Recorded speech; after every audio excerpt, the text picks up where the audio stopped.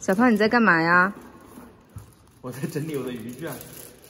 你这半夜三更的整理什么渔具啊？你不会现在要去钓鱼吧？现在不去，我明天早上去。明天早上你又约了谁哦？胖哥呀。我怎么不知道？好好早就约了。你又背着我出去钓鱼了，我跟你说。准准备等下跟你说的嘛。准备等一下跟我说。你们看一下他的后备箱，全是钓鱼的东西，什么伞呀、凳子呀、鱼护呀、鱼竿呐、鱼料呀，整个后备箱全是他的垃圾。这杆子已经烂掉了，你看到没？这样，然后就丢了。全部是你的垃圾。哎呀，好嫌弃你！你们看这个胖子，今天手机都不看了嘞。他这里不知道在干嘛？你在干嘛哟？在装线组啊！你这大半夜的，你还在装鱼？你明天钓鱼的东西吗？对啊。为什么那么爱爱钓鱼呢？请问一下。钓鱼很好玩啊？你这个问题问的，肯定是因为好玩嘛才去钓的嘛，是吧？是所有的男性都那么爱钓鱼吗？那也说不定哦。但是你你看今天那个隔壁那个那个卤肉饭的那个老板，他不就是约我去钓鱼吗？他也很爱钓鱼。啊，那个人是约你去钓鱼啊？对啊。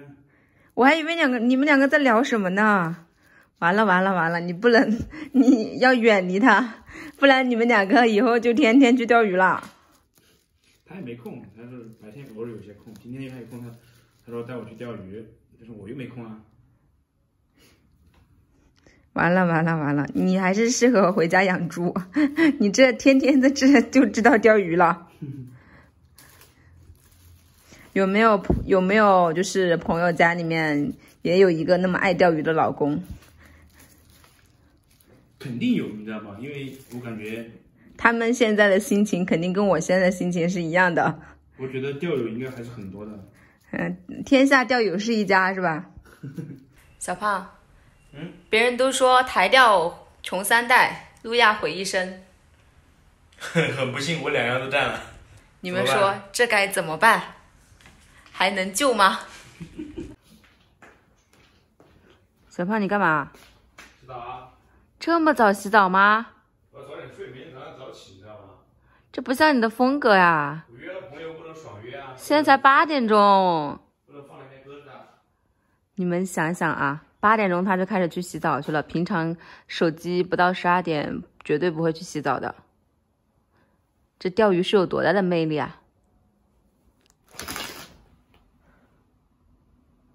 现在天都还没亮，小芳就钓鱼去了，有毛病吧？他六点钟就没到就出去了。你在哪里啊？乌漆嘛黑的。我在车上了呀。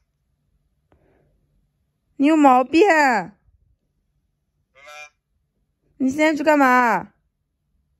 钓鱼啊！我不是说，我不是跟你说了吗？今天早上约了人六点钟去钓鱼啊！我现现在已经六点过十分了嘞。天都还没亮啊！